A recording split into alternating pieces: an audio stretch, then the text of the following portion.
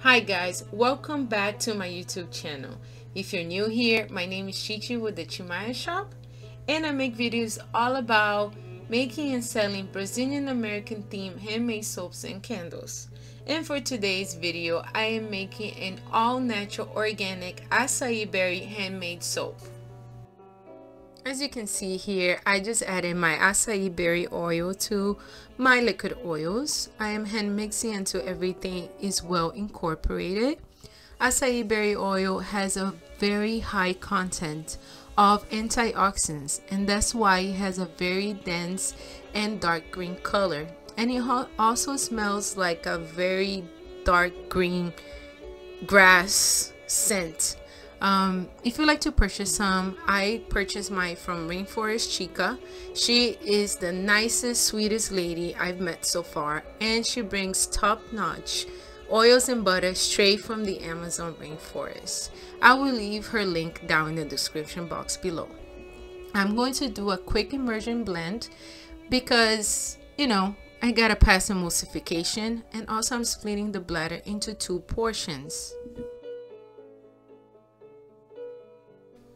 Now it's time to add my natural colorants and today I'm using purple Brazilian clay.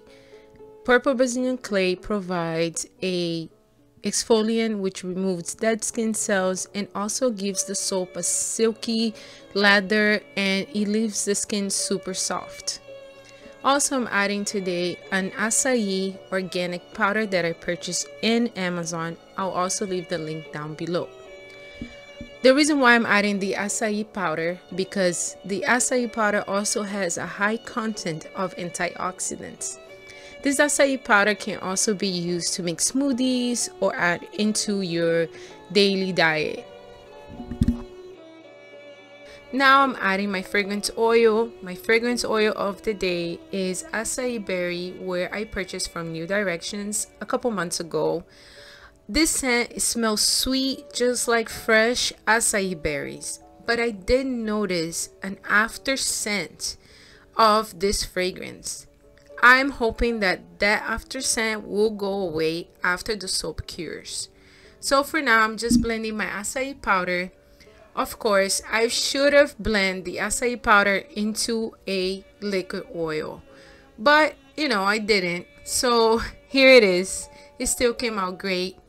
The pour is amazing. The fragrance oil is working delightful. There's no acceleration, which is great.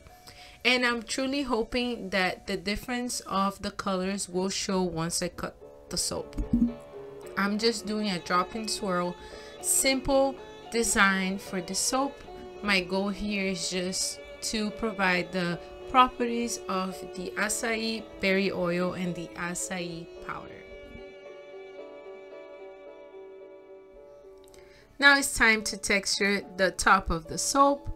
I am keeping it super simple. I'm using a popsicle stick today.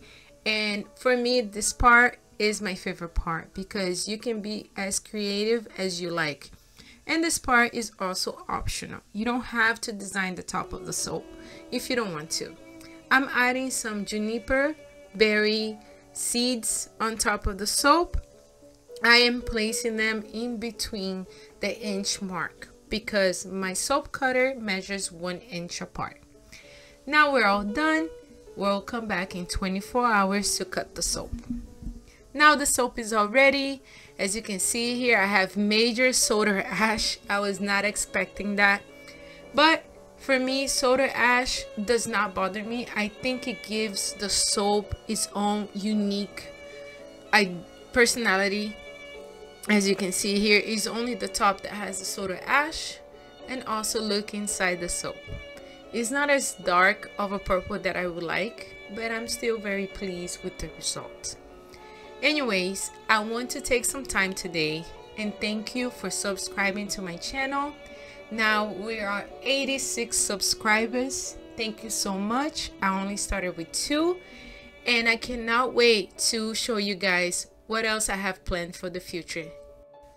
Thank you so much for watching. If you really love my videos, please don't forget to press the subscribe button and I hope to see you guys again. Bye!